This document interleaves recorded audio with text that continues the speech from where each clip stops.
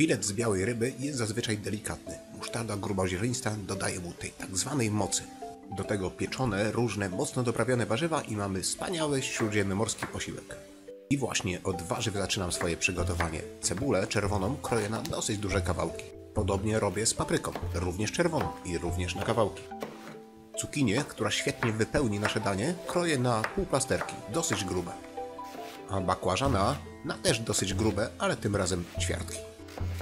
Następnie wszystkie pokrojone warzywa przekładam do naczynia żarotwornego i dosyć obficie posypuję świeżo zmieloną solą i świeżo zmielonym pieprzem. Skrapiam także oczywiście oliwą z oliwek i dodaję dosyć grubo pokrojony czosnek. Wyciskam sok z całej cytryny i dodaję gałązki rozmarynu. Mieszam wszystko ręcznie i wstawiam do nagrzanego do 200 stopni piekarnika na mniej więcej 40 minut. W tym czasie zabieram się za rybę. Ja użyję dorsza, ale może być jakakolwiek inna ryba. Posypuję ją z solą i świeżo zmielonym pieprzem. Z obu stron.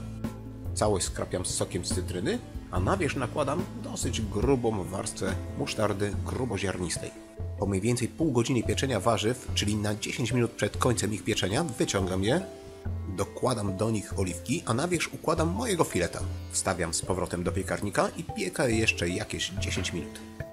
Następnie wszystko wyciągam z piekarnika, warzywa układam na talerzu, a na wierzch tradycyjnie ląduje dorsz. Delikatne i tym razem wyrazice w smaku mięso rybki doskonale łączy się ze smakiem pieczonych warzyw. Ja już nie mogę się doczekać i zasiadam do stołu, a wy też powinniście zrobić to danie w domu.